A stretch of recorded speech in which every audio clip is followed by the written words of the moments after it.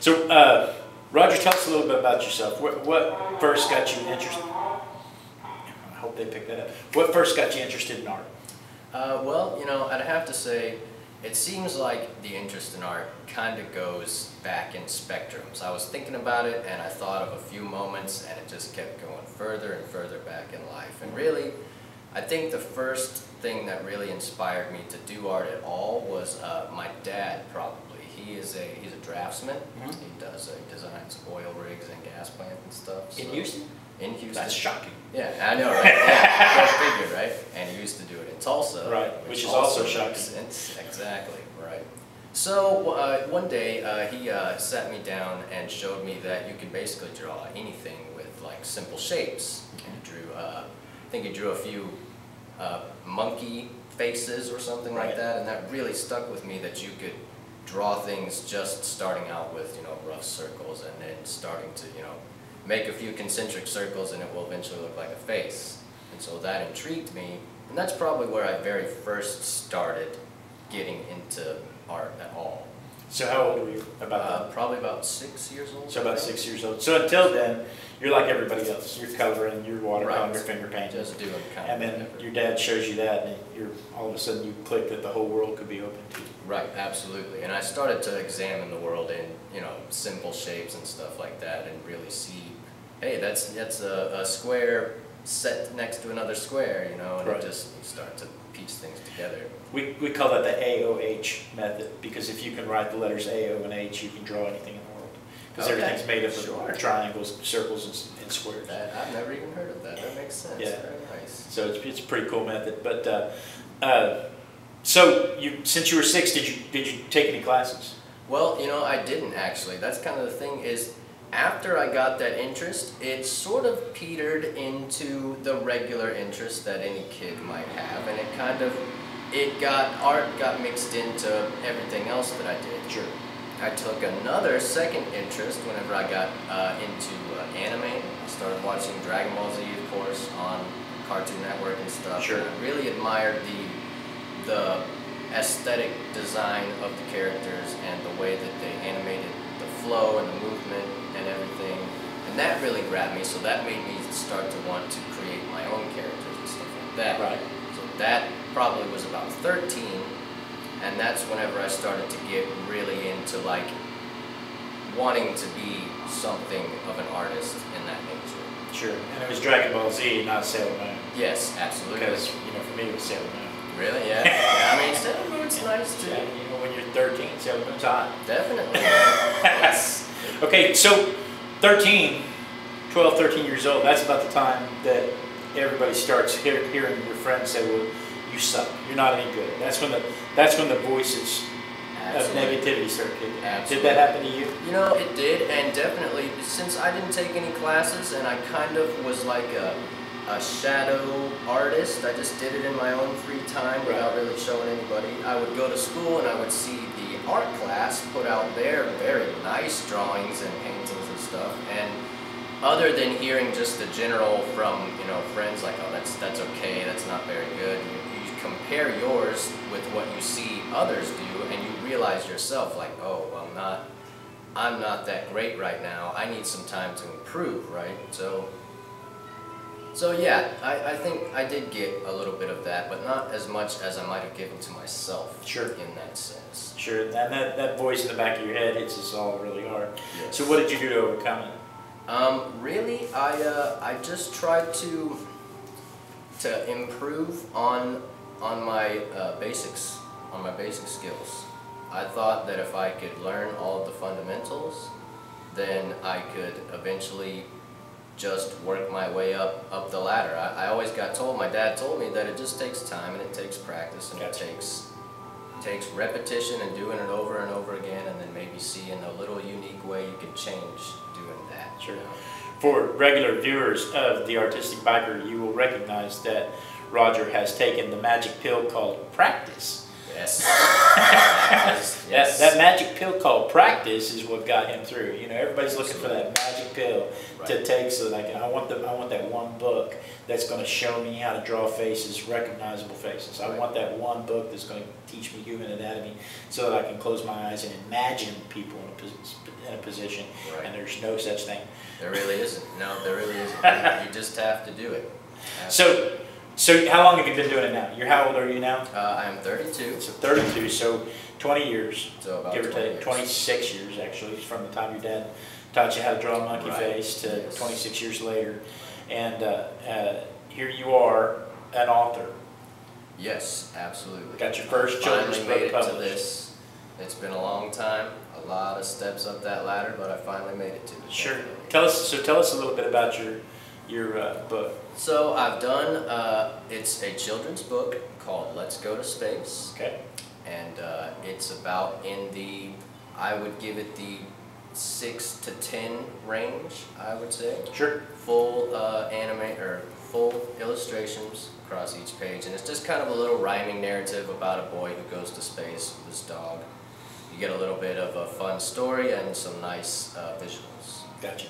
Gotcha. And you, you, did you sketch it out on paper, or did you do it 100% digital, or So I did all my sketches digitally also. I use a program called Sketchbook, okay? and I just have a Microsoft Surface and a pen, and I do my preliminary sketches on one page and kind of get the feeling for them, and then open up another document and create them from there.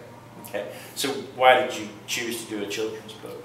I chose, right now, I chose to do a children's book because I've had a long history with trying to create longer and more adult themed stories. And what one thing that I've noticed along this journey is I've been working a lot with my art, but I've sort of lacked a little on my storytelling. Gotcha. And so I've been trying for the really the last 10 years to do a nice combination of both, work on how to tell very nice, rich stories.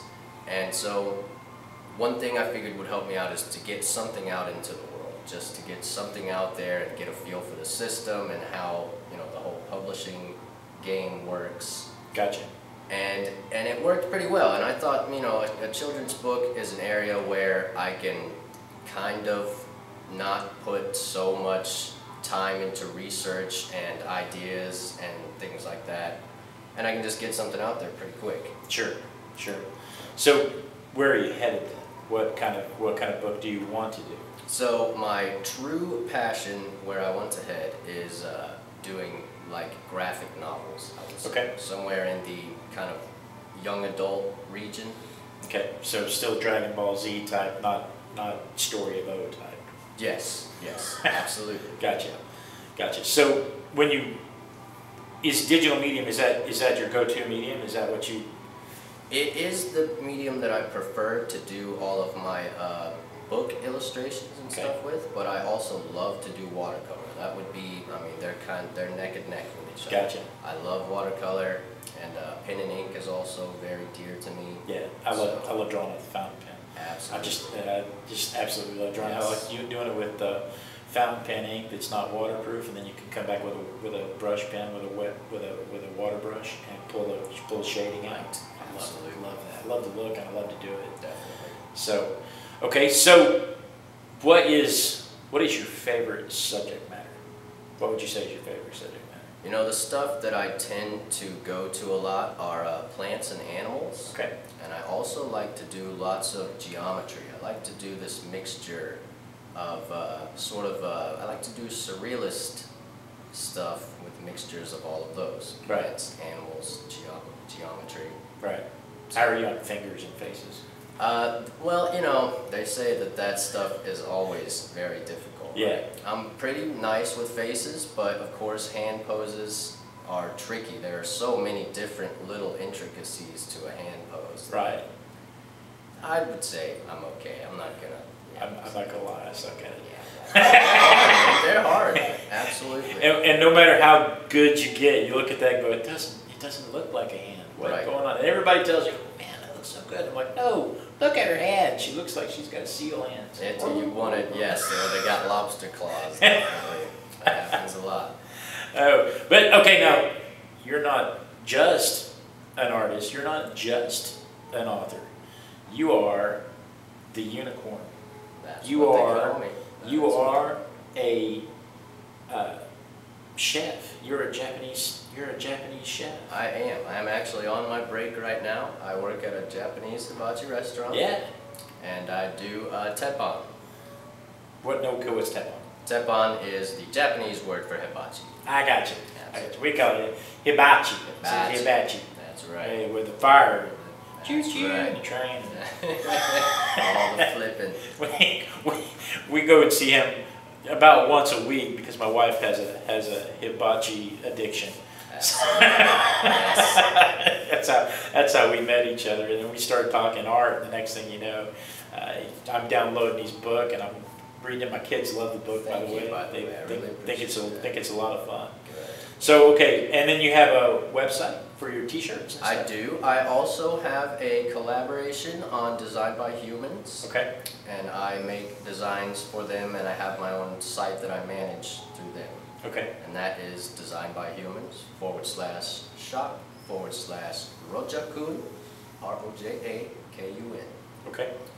And you can check out my designs on there. I haven't posted designs on there for a long time, or for maybe a few months, because I've been working on other projects. Okay, now that brings up another important question: slumps. You've been working on other projects. You've been doing other th- stuff. You know, obviously, life gets in the way of what you want to do because you're you're busy, tied up. What do you do when you when you feel like you should be doing art and you sit down at the tablet and you just there's just dry. The well's just dry. What do you do? So a lot of what I do is first, I tried not to focus too much on that feeling of not being able to have anything come to mind. Okay. I tried, I feel like sometimes if you get a little too upset in your own mind that you think you can't come to a conclusion, then you're probably not going to. And so I just try to not even worry about if I can't or can figure something out. I like to listen to music to get inspired Sure. if I have nothing on the page. And a lot of things I like to do are just literal physical exercises, putting something on the page and seeing if I can see something within it. I try to get my pareidolia working a little bit. Gotcha. See if I I have no idea what a pareidolia is. Well, it's, it's like the human condition of seeing faces and shapes I in, you know, like the man in the moon. There you go. like that. I, got- I understand that. So, okay, there was a, there was a, uh, an artist one time that suggested that you draw something every day. Just, just draw something, anything every day. Make a commitment every day to at least put a mark on the paper every day. And I tried to do that for a year, and I guarantee you there's probably a hundred pages in there that just have a mark on the page. Just one. but, at, but at least I made a mark on the Right. page every, every day. That's I don't know what it did to improve my art, but at least I made a mark every day. so, oh, and how often do you practice? Do you practice? Every single day, every chance I get. Basically, I've worked art into my just habit in life. It's got, I used to not be as, you know, on myself to do art. Whenever I was younger, maybe 18, 19, and I would fall into long periods of not doing art and, you know, picking it back up again until finally I just worked myself into this mindset of do it and just keep doing it. And anytime you feel you know negative towards the world or you need to some time to yourself go and draw. Anytime you have free moments to do anything just draw. Try to always be working on something. Mm-hmm. And it's gotten to where now I just I anytime you know I have a free moment I'm I'm trying to draw something.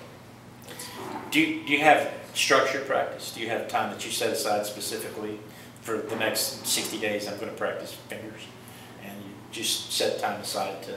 Uh, I do, actually, yes. I try to work on different, uh, you know, like you said, it might be fingers this time, it might be different uh, lighting scenarios or landscapes, or I'm going to work on uh, anatomy of a certain animal or whatever it might be. But I don't usually use a lot of time on those. It's, I wouldn't call it 60 days. I would say maybe I spend a week looking at those and then I try to move on. My mind tries to push it along fast. And if I sit on something for too long, then I get bored with it and I just leave it there and nothing happens with it. Gotcha. But I found that if I work really fast and just try to push on to the next thing, I can get things full and complete and then work on the next, Sure. and it, it works faster. Sure. So how much time a day do you spend on, on, pra- on structured practice? Well, so let's see. I work probably 10 hours a day, and I don't have a day off. So I'm working seven days a week, and uh, probably 10 hour days. I would say maybe six hours, two hours in the morning, two hours on break, except for today, and probably two hours tonight. Gotcha. So, That's, that's a lot of practice. yes, absolutely. So, And it's just gotten to where, yes, practice, practice. It's gotten to where I just want to do that. When I come and sit down, I don't, I don't want to play any video games. I don't want to do anything else. Sure. I just pick up my tablet or my sketchbook and start throwing down marks and ideas. do you keep a sketchbook on you at all times? I used to, but since I go to work where it gets a little greasy, I don't really keep it in my back pocket as much. But on my days off, it is always with me. Gotcha, gotcha. What kind of sketchbook do you carry? Uh, let's see. Is it a Moleskine? No, it is a. Actually, I think the little pocket one I have is a Daler Rowney. Rowney? Okay, yeah. Gotcha. And then you brought one, you brought a little watercolor kit. I actually brought the little kit. It's behind you, and I just brought a few pieces of uh, Strathmore paper. Just to, just to kind of, if we, we, we didn't know if we were gonna art in front of you, but he, he Right. brought his little Just watercolor kit. case. I have this exact same Really. watercolor kit. It's a great And you can kit. buy the, you can buy the koi watercolors to refill it. Oh, really? So I bought, I bought a, I bought the tubes of koi wa- watercolors to, Oh, re- to refill it so that I can maintain and just keep this exact same kit over and over. Very nice. So that's, that's great. Uh, anything else you want to talk about? Anything exciting in your life? Uh, well, n- I wouldn't say nothing more exciting than this. This is kind of a, a nice highlight. I really appreciate being able to do this. Uh, this is the most spotlight I've ever had as an artist, and I'm kind of like a, a lurker artist, I guess you could say. Sure. I don't have any really real notification or recognition for what I do. So this is kind of a nice highlight to what I do. Great. Well, what's the name of the book again? Let's go to space. Let's Go to Space. Yes. And we'll put a link of it to Amazon. Uh, here's the, what the cover looks like. If, in case you missed it earlier, this, if you're watching this live, then uh, you'll know there's actually not a book in my hands this big, but there will be when we edit the video. And then, uh, so Let's Go to Space, you'll be able to get that, you can get that off Amazon. Yes. And then the t-shirt place was Designed by humans. designed by humans forward slash shop forward slash Rojakun. Rojakun. Rojakun with a G, not a J. No, it's with a J. Oh, it's with a J, Roja, R- O, so it's. R O J A K U N. Yes. Okay, we'll have links, all that stuff will be in the description below, and you'll be able to click on it. And uh, thank you very much for joining us today. Thank you very Appreciate much for having me, sir. Thanks, guys.